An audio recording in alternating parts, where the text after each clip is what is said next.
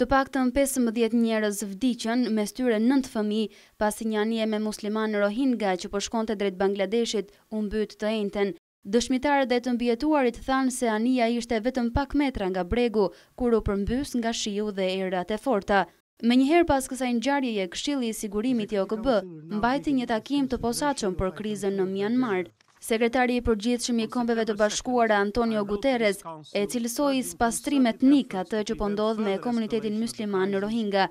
Ai u bëri thirrje autoriteteve të këtij vendi të ndalin dhunën, të vendosin sundimin e ligjit dhe të njohin të drejtën për rikthim të të gjithë atyre që janë larguar. Ambasadorët thanë se këshilli prej pesëmbëdhjetë anëtarësh dërgoi një mesazh të fortë në Mianmar, por nuk u ndërmor asnjë veprim formal pas seancës.